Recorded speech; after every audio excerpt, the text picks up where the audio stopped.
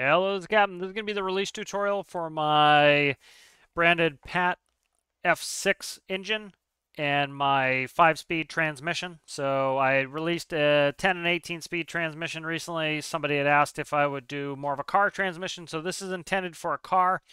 Uh, it's a flat 6 with a 5-speed gearbox. The gearbox is set up and tuned for a car.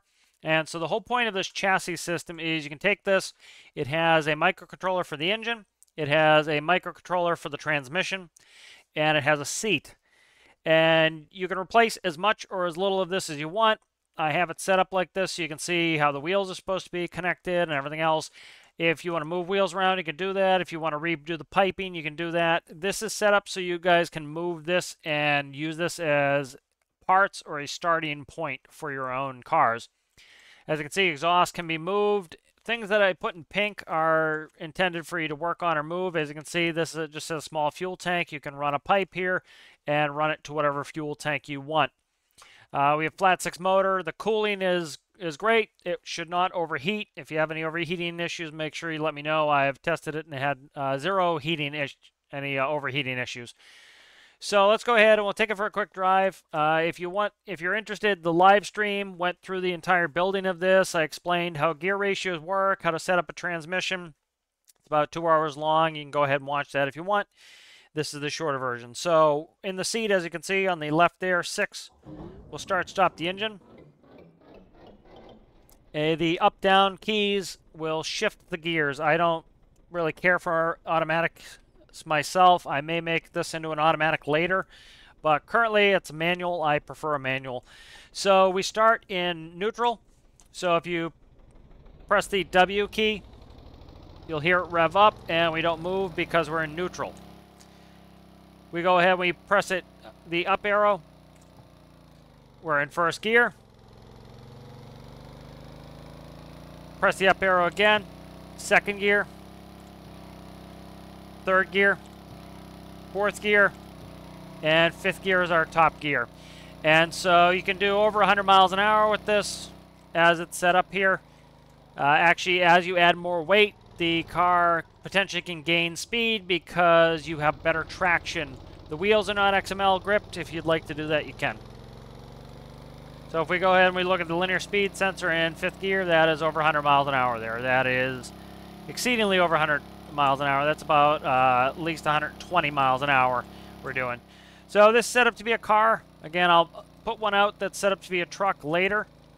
But that's pretty much all you have to do. Six will start and stop the engine. It will automatically restart if you stall. You shouldn't stall it. And the up-down arrows will change gears. So you have five forward speeds, as I showed you. You also have reverse. And I'll put it in reverse, so we'll click down one from neutral. And as you can see, we have a nice low reverse. Press the brakes. All right. Uh, the S key is brakes.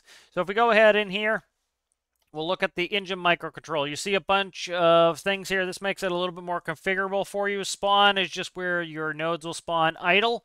You set the idle value you want. So this is currently idling at 3.5 RPS. The maximum RPS is set to 20. Again, you can change that here. The p-value for the engine is 0.18. The AFR sensibility is 0.05. This is just a tag. You don't need to worry about that. Starter disengage RPS. So this is the starter will go until it hits this value, then it will stop. So you can change that if you like. Clutch application RPS. So this is the minimum amount of RPS before the clutch will start to apply. This here is the clutch zero. This is when the clutch will zero out and it will disconnect from the drivetrain and that will prevent you from stalling when you stop. As you can see, it's about 0.5 higher than the starter engagement. P-value for the alternator and the minimum cooling temperature. So your cooling system will not come on till 100 degrees. And so we'll uh, flow zero water until you hit 100 degrees. Then the pump and the radiator will turn on 100. You can also change that. I recommend you just leave it where it is. Uh, your transmission's all set and hooked up here.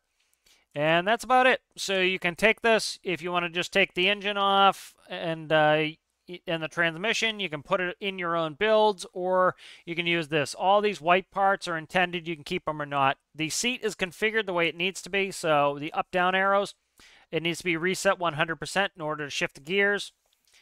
And uh, that's about it there. So I uh, hope you guys find this helpful. Hope it helps you with some transmission. We'll be putting out a bunch of these chassis and transmissions. Uh, next one's going to be the exact same chassis. It's just going to be geared so it's like a truck. So hope you guys found that helpful, and I'll see you in the next one.